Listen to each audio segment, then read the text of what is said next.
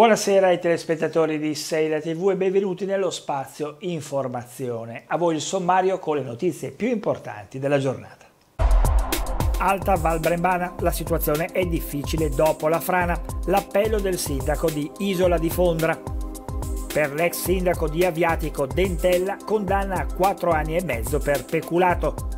Palazzina Popolare di via Montegrigna, il comitato per la casa alla nuova amministrazione. Ritirate la denuncia. Città Alta, da stasera si accendono le telecamere ai varchi ZTL. Chi sgarra sarà multato. Atalanta è fatta per il riscatto di De Ketalar. Intanto voci danno i nerazzurri interessati a Zaniolo. Partiamo con una notizia di cronaca, condannato a quattro anni e mezzo l'ex sindaco di Aviatico Stefano Dentella, l'accusa era peculato. Telefonate, cene e regali utilizzando denaro pubblico ed è arrivata per Stefano Dentella la condanna per il reato di peculato.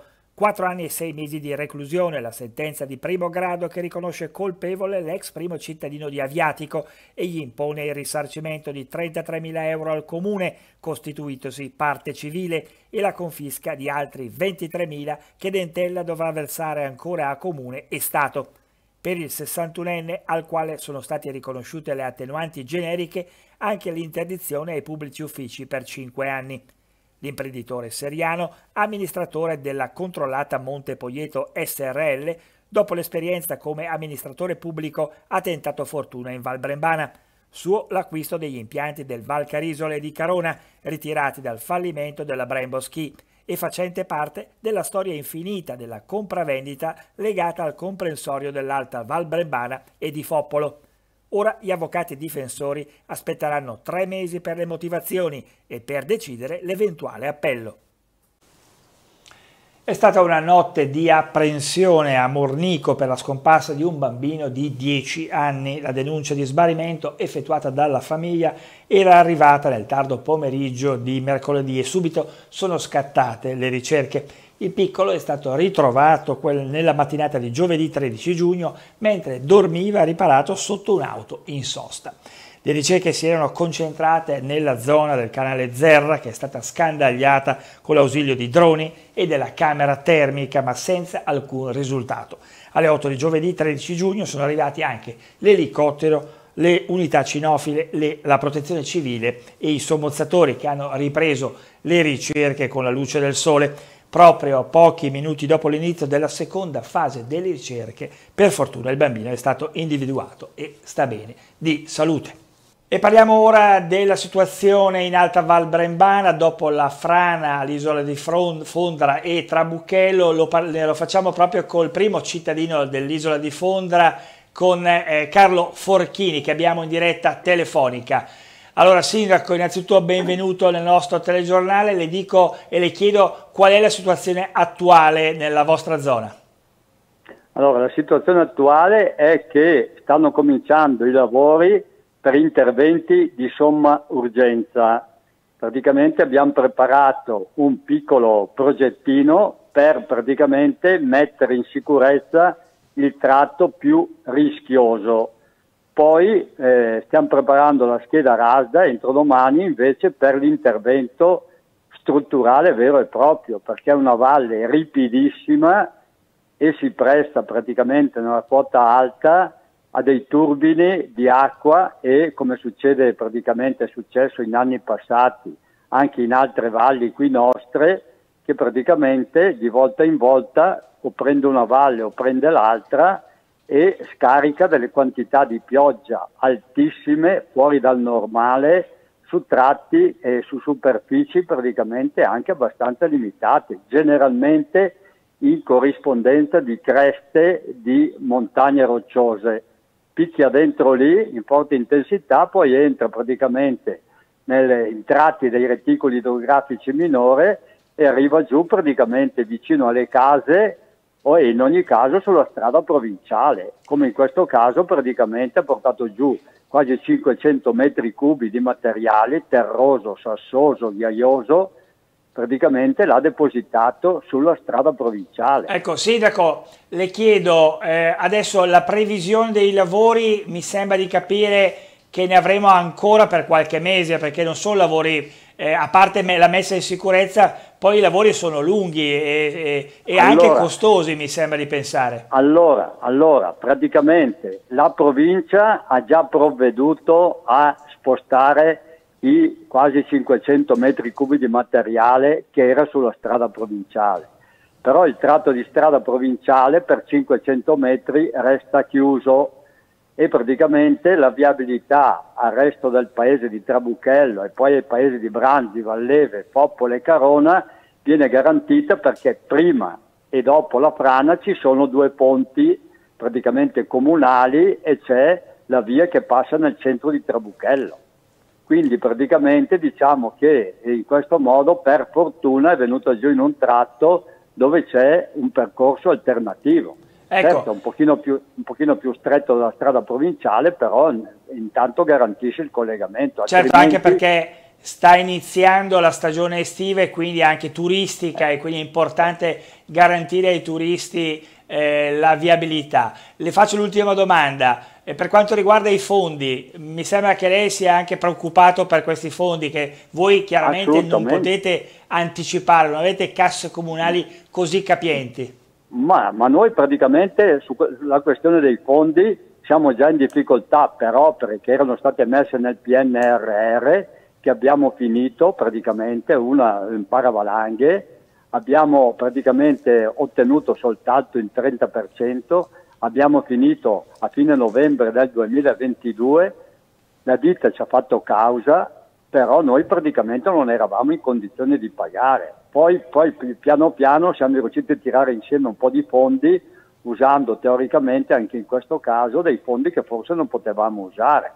E poi anche altre opere praticamente che eh, bisogna che il comune anticipi, ma i comuni piccoli, nel nostro caso possiamo fare un prestito solo di 158 mila euro l'anno scorso e quest'anno forse 180 mila euro però praticamente prima di prendere quello di quest'anno dobbiamo eh, praticamente pagare quello eh, che abbiamo preso eh, l'anno scorso. Grazie Sindaco, quando... io eh, da queste sue parole capiamo quanto sia difficile fare il Sindaco, lei è appena stato rieletto eh, proprio nel suo, nel suo, comune, le facciamo un grande in bocca al lupo, un buon lavoro e ci risentiremo per sapere ecco. come sta andando in quella zona durante l'estate. Ecco, grazie, grazie, ancora e buon molte. lavoro.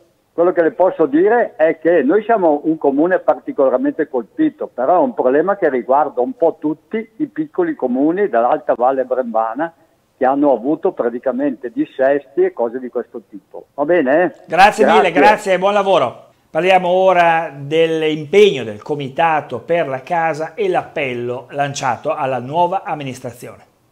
La questione della palazzina popolare di via Montegrigna 11, quartiere Celadina, torna in auge. A riportarla in vita il Comitato di lotta per la casa che nel 2014, con un gruppo di attivisti, occupò lo stabile come mossa eclatante per aiutare persone fragili che non riuscivano a trovare un alloggio, 50 quelle che trovarono rifugio qui.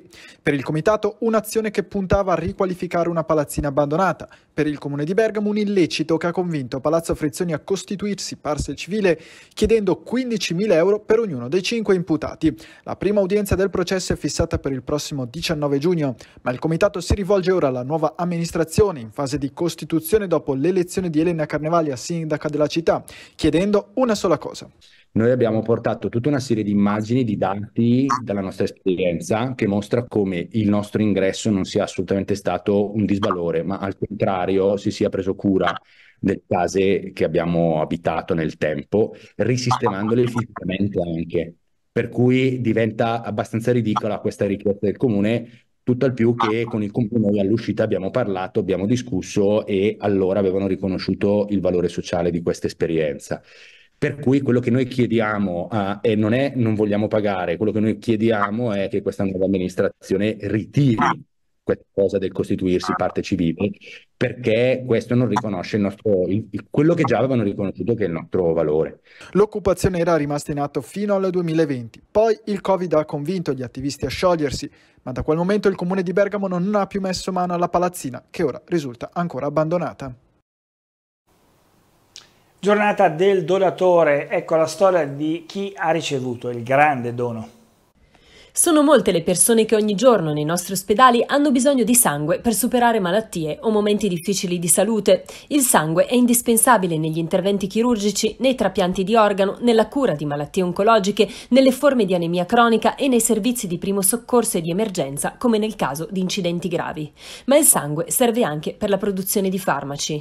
La eh, lavorazione che permette la trasformazione, la produzione dei farmaci emoderivati è eh, parte dalla raccolta di sangue intero. Di sangue dunque c'è sempre tanto bisogno. A ricordarci l'importanza di non abbassare mai la guardia si celebrerà domani la giornata mondiale del donatore di sangue. Abbiamo la eh, realtà della raccolta lombarda che soddisfa alla fabbisogno non solo della nostra regione ma anche delle regioni che sono in deficit di raccolta per quanto riguarda il sangue intero mentre soffre la carenza di un 30% circa del fabbisogno per quanto riguarda la raccolta di plasma. Donare il sangue è quindi un gesto semplice che può salvare vite, come quella di Andrea Menghini, ex donatore Avis, che ha superato una grave malattia anche grazie alle trasfusioni ricevute. Ho avuto un linfoma e eh, nelle cure che ho dovuto subire, ho dovuto subire mh, cicli di, di chemioterapie, ho anche ricevuto il sangue.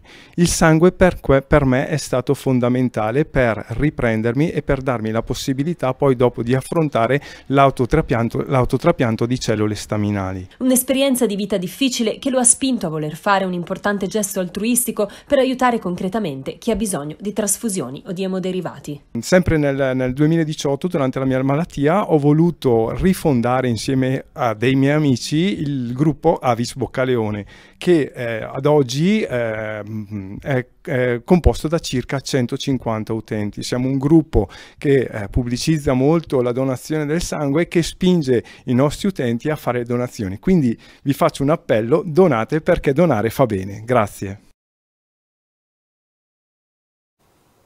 E a proposito di donazione, l'Associazione Oncologica Bergamasca ha donato all'ospedale di Bergamo un dispositivo a micro-ultrasuoni che sarà utilizzato dagli specialisti di urologia per affinare la diagnosi del tumore alla prostata. È il primo ospedale pubblico in Lombardia a vantare questo strumento. Grazie alla sua elevatissima risoluzione, l'ecografo di ultima generazione permette di una migliore definizione del tessuto prostatico e una maggiore possibilità di identificare eventuali lesioni sospette. Lo strumento è già entrato in funzione e sono centinaia i pazienti che potranno avere vantaggio. Basti pensare che ogni anno all'ospedale Papa Giovanni XXIII vengono eseguite circa 800 biopsie prostatiche e che oltre 400 pazienti sono attualmente seguiti da urologia nei protocolli di sorveglianza attiva. Cambiamo decisamente argomento, parliamo della ZTL, città alta, da stasera non si scherza più, eh, si fa veramente sul serio.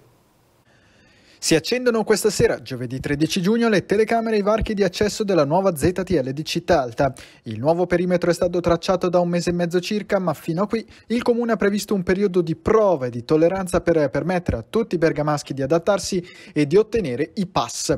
Ora però non si può più sgarrare, pena la multa. L'accesso a Città Alta non è cambiato negli orari. Giovedì, venerdì e sabato la ZTL scatta dalle 21 all'una di notte, mentre nei festivi non si può salire dalle 10 alle 12 e dalle 14 14 alle 19. Con l'apertura del nuovo parking della Fara, tuttavia, sono cambiate alcune cose.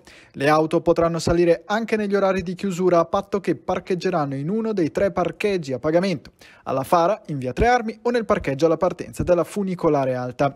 Va ricordato anche che sono cambiati i due varchi, uno quello su viale Vittorio Emanuele, l'altro in via Locatelli. Sul viale il varco si è spostato qualche metro più verso il centro città, trovando posto all'altezza della rotonda della Galleria Concadoro. Su via Locatelli il varco invece si trova all'incrocio con via Brigata Lupi, dove la viabilità è stata modificata con una revisione dei sensi unici. Comune di Bergamo e Polizia Locale consigliano di accertarsi della disponibilità di posti liberi nei parcheggi segnalati nei cartelloni luminosi posti ai varchi per evitare spiacevoli multe. Ora torniamo a Bergamo, quartiere Carnovali, al via la pulizia dei parchi.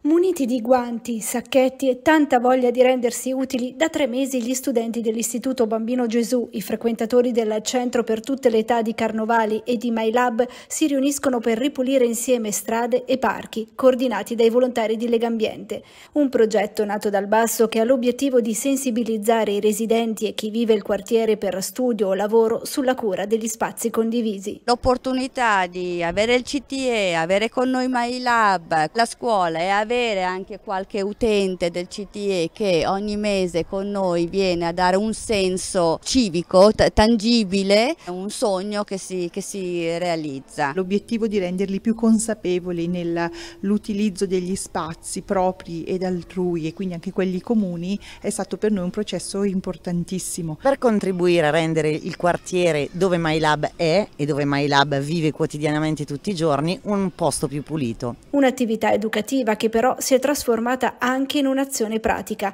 Nelle prime tre giornate sono stati raccolti 38 sacchi di rifiuti abbandonati. Abbiamo trovato di tutto, oltre a bottiglie di plastica, bicchieri di plastica a 5 metri dai cestini della spazzatura. Oltre la plastica e sigarette ho trovato anche del vetro. E sono molto arrabbiata perché non hanno educazione per niente. Il polistirolo in terra, anche le sigarette. Ho pulito, è stato bello, mi è piaciuto. Le mattinate di pulizia proseguiranno fino a novembre tra il Giardino Scarpati, il Parco di Via Lolmo, il Giardino Loi e il Giardino Berizzi, coinvolgendo partecipanti di tutte le età e abilità. Stanno bene insieme e sono anche un sostegno reciproco, si guardano a vicenda, si scoprono curiosità, è come se di generazione in generazione si creasse un po' una cultura del voler bene ai luoghi verdi che abitiamo. Evviva! E noi ci fermiamo per qualche consiglio per gli acquisti, ci ritroveremo con le, news sull'Atalanta, ma non solo.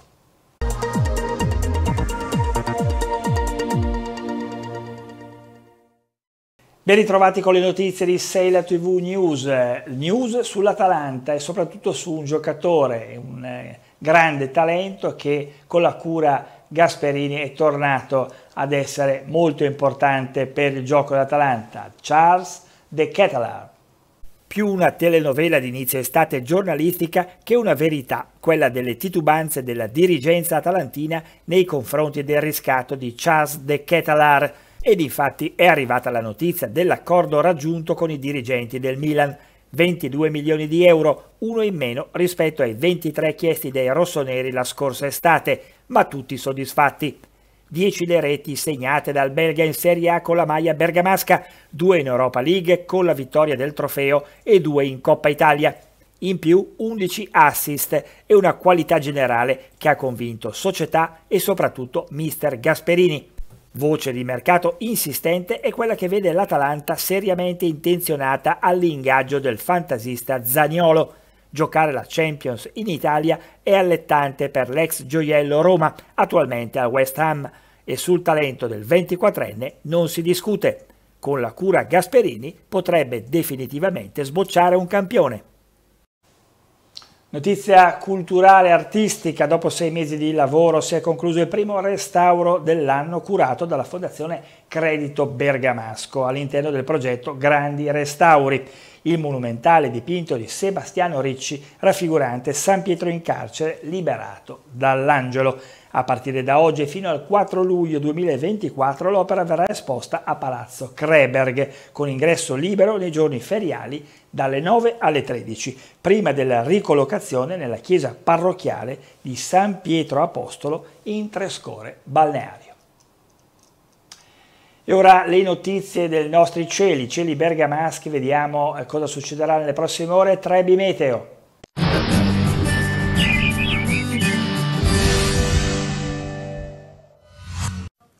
Ben ritrovati da Sofia Inglese di Trebi Meteo. Ci attende un venerdì con sole prevalente sulla Lombardia da segnalare solo un po' di variabilità sui rilievi. Le temperature massime saranno in ripresa di qualche grado con punte intorno ai 26-27 gradi. Vediamo ora nel dettaglio la provincia di Bergamo, cieli sereni o parzialmente nuvolosi nella giornata di venerdì con temperature massime che si aggireranno intorno ai 24-25 gradi. Anche nella giornata di sabato sole prevalente con qualche nuvola di tanto in tanto e temperature temperature massime intorno ai 25-26 gradi. Uno sguardo ora alla tendenza dei prossimi giorni può considerarsi chiusa la parentesi dell'instabilità, ci attendono infatti giornate con sole prevalente e temperature in ulteriore ripresa, con punte che riusciranno anche a sfiorare i 28 gradi. Ma per maggiori dettagli in merito alle vostre località scaricate l'app di Trebi Meteo. E per le vostre segnalazioni scrivete a redazione chiocciola seilatv.tv. È veramente tutto per questa edizione. Una buona serata.